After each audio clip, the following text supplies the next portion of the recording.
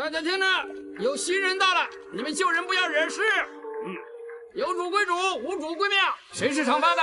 有，过来。有我的。农村的过来，开始收人。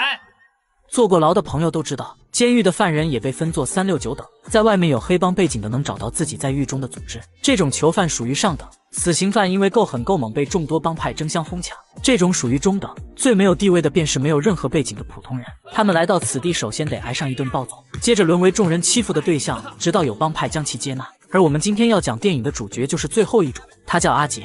是一名公司高层，前段时间因收受贿赂被判三年刑期。入狱前经历了与母亲、女友的伤心别离，老人哭到激动处，甚至心脏病发摔在地上。所谓母爱如水，润物无声。试问天下哪一位母亲又能抵得住这种打击呢？与阿杰的悲剧形成鲜明对比的是他一旁的狱友达叔。此人屡次犯罪，常常进出监狱，来到这里仿佛只是每年春节回老家一般熟络。经过难以忍受的某项特殊检查，新犯人们来到监狱广场。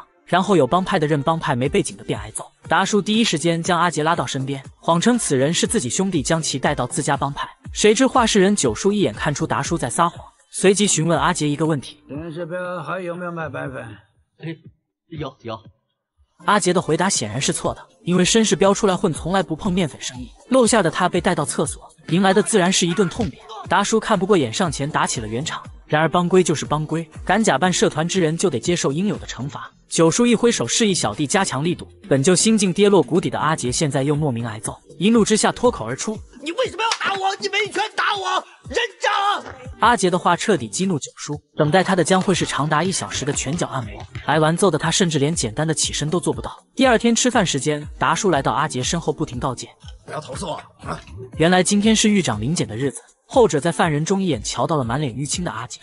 随即将其叫到办公室询问受伤原因。阿杰回忆起达叔刚才的嘱咐，只是说自己走路不小心摔成了这般模样。狱长深知事情的来龙去脉，知道监狱潜规则的他，为不引发不必要的动乱，也不想让阿杰为难，就不再多问。画面来到操场，九叔已经打听到阿杰没有将他供出，看来这小伙子还挺上道。在达叔请求下，索性将其纳入社团，安排在达叔底下做事。受过一次教训的阿杰没有拒绝，渐渐接受了监狱特有的行规。而达叔之所以如此袒护阿杰的原因也很简单，就是在车上看到了他们两母子的离别。达叔也是做父亲的人，明白父母此刻的心酸，所以暗自下定决心要在狱中照顾好阿杰。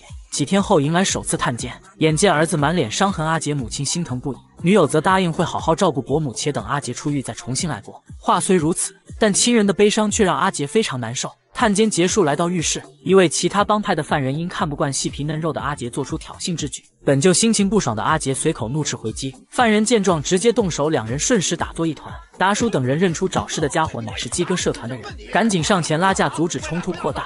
谁知两人火气都很旺盛，情绪上来拾起东西便扔向对方，结果闹事的犯人这一扔却意外打伤了刚进来的九叔。话事人受伤使得事件变得严重起来。一小时后，犯人在广场集合，九叔和鸡哥等大佬开会处理这次冲突。老兵，我们想在这开会。碍于九叔被鸡哥小弟误伤，使得后者理亏在先，加上九叔在这里辈分最大、威望最高，鸡哥吃了闷头亏，被迫低头道歉。由此看来，监狱四大社团当属九叔实力更胜。有了此人当后台，看来阿杰在监狱再也不用担心受人欺负。我再问你一次，你一定要跟他走吗？我不想儿子知道有这样的爸爸。别那么大声，我要你后悔一辈子。小声一点。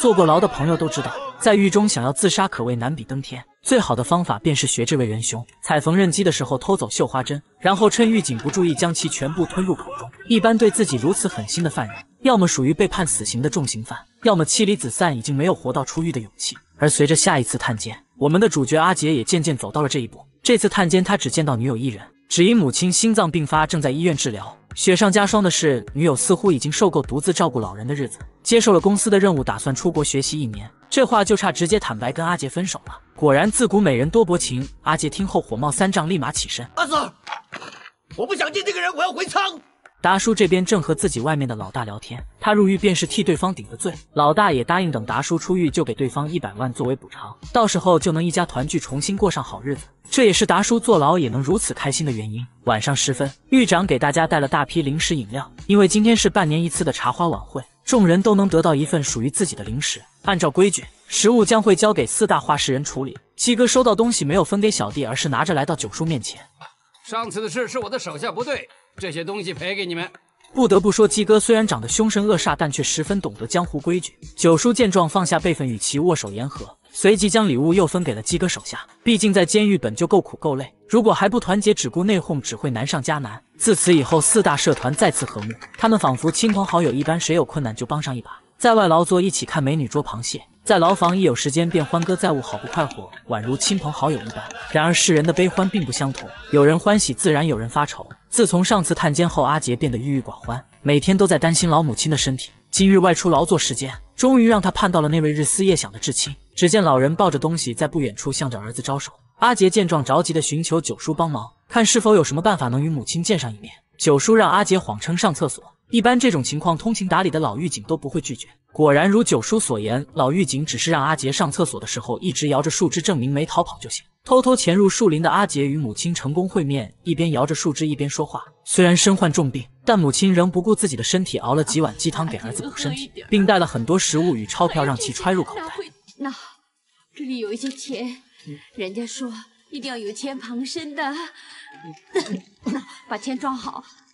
可怜天下父母心，老人的这碗鸡汤让阿杰热泪盈眶。即便不为自己，为了母亲，他也决定要撑着活到出狱那一天。然而鸡汤可以喝，老人带来的钱和食物却坏了监狱规矩。阿杰孤儿遭到几天禁闭的惩罚，不曾想数天后出来，阿杰便得到母亲去世的噩耗。只因女友走后没人照顾对方，就连心脏病发也无人及时报警。狱长听闻后，特意破例让阿杰外出送老人最后一程。失去最后一位亲人的阿杰，将一切怪在自己身上，痛定思痛之下，决定加入教会忏悔罪行，并给天堂的母亲祈福。而今日刚好就有教徒过来传道，狱长询问是否有人愿意接手教会。一般罪犯对这玩意儿都不感兴趣，只有阿杰两三人跟着牧师一起去到临时教堂。达叔本来也不打算过去，可当看到这次传道居然有一位漂亮修女，他和鸡哥等一众犯人立马有了兴致，来到室内听着圣经。大多数犯人醉翁之意不在酒。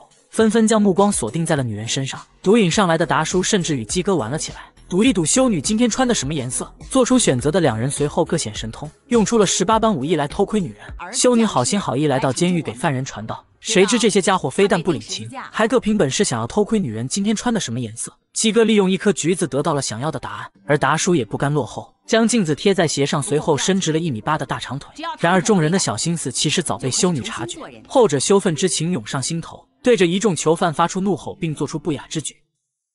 你们今晚看吗？我为了今天的聚会做了一天的功课，今天坐了两个小时骑车来到这里，目的是为了帮你们。我十三岁进女童院，十二岁出来混，什么东西没见过。我只不过是想做点有意义的事，为什么你们耍我？修女的发言让尚有一丝廉耻的犯人羞愧离场，而有的人则认为修女太过小题大做。没办法，这个世界就是这样，有些人入了监狱便能改善，而有的人即便到死的那一刻仍不知醒悟。早知道赌凶诈了。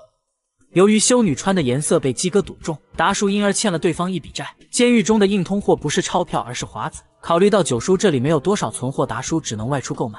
趁着劳作的机会，他让兄弟们故意嬉戏打闹，替自己掩护，然后偷摸着离开了工地。接着，只要在规定时间回来，便不会被狱警发现。重获自由的达叔开心的手舞足蹈，坐上公交来到不远处的小镇购买华子。途中瞥见几人正在玩牌，毒瘾上来的他看着墙上钟表。考虑到离收工时间还有几个小时，便果断上了桌子。结果运气爆棚，连赢数场。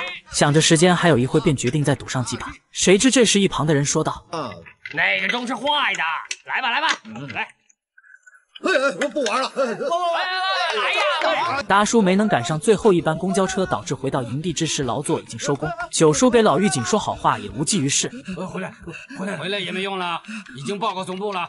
据说这段戏是导演根据达叔本人真实经历改编而来。早期的他演艺生涯一路向上，早早成名，但在最辉煌的时候却不幸染上赌博，差点弄得家破人亡。就连昔日同学发哥对他也是怒其不争。好在后来醒悟，重新做人，才有了如今我们敬爱的达叔。然而电影里的角色却没有达叔现实这么好的运气。我们话不多说，回到电影，幸得老狱警心底善良，又与九叔关系交好。上报说到达叔因为上厕所误了时间，并不是越狱。按照狱规，只是惩罚关上几天禁闭。挨过这段日子，对于达叔这根老油条来说不算什么。真正担心的是，出来后还得接受社团的惩罚。只因他误工，导致其余兄弟也跟着被罚了几天伙食。按照规矩，达叔得接受五十拳头的帮规。动手者乃是九叔旗下头号打手。他这几记老拳下去，让年近五旬的达叔直呼受不住。阿杰见状，毅然上前代替受罚。虽然这样坏了规矩，但九叔却没有阻止。九叔，太假了吧？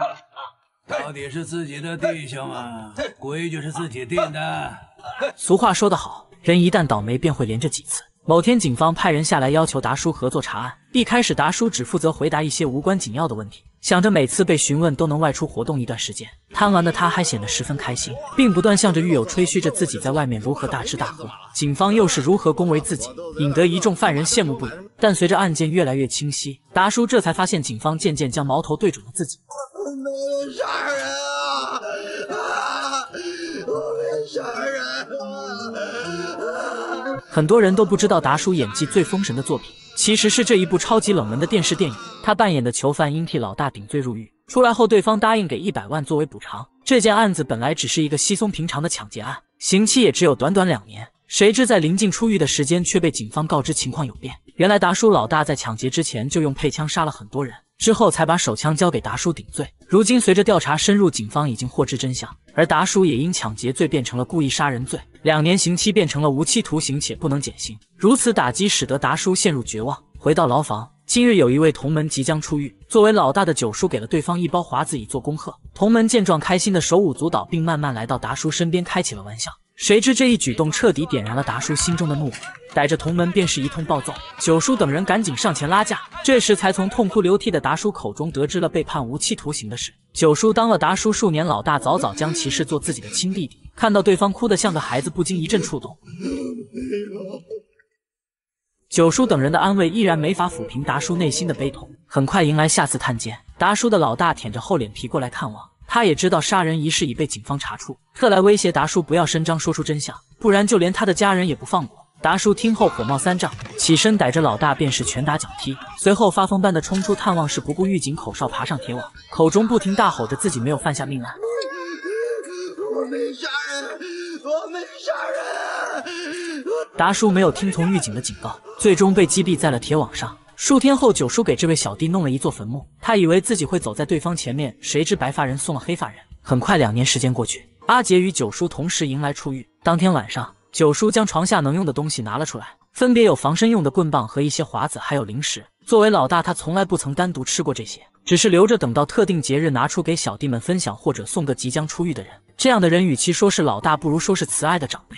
为了给老大送行，众小弟在第二天用餐时间拿出各自的肉给九叔做了一个豪华蛋糕，就连鸡哥等其他大佬也跟着一起恭喜。然而这等温馨场面却让新来的狱警感到威严受到挑衅，随即大吼着让众人赶紧坐下，不许说话。九叔见状上前打起了圆场。是我今天出狱，他们替我高兴。你高兴。的话，可以一辈子不走。坐下，全都坐下。九叔，今天我是老大。帮内二号人物拦下了即将发飙的九叔，这时狱长也过来说起了场面话，这才压制住了将要动手的双方。随着狱长的离开，犯人们不约而同唱起了《友谊之光》，用来诠释与九叔的情谊和不舍。之后，阿杰与九叔一同走出监狱。无后的老人坐了五十年牢，亲人早已不在，所以没有一人前来接风。而母亲去世的阿杰和他一样孤身一人。谁知门前忽然看到一位熟人。竟是阿杰的前女友开车早早等在门口。原来女人还是不舍与阿杰的感情。道歉后，两位情侣重归于好。这时，阿杰转头邀请九叔一起坐车回家吃顿便饭，结果遭到老人拒绝。九叔，我的马子还不错吧？叫九叔。不打搅你们，我想走走。我像困。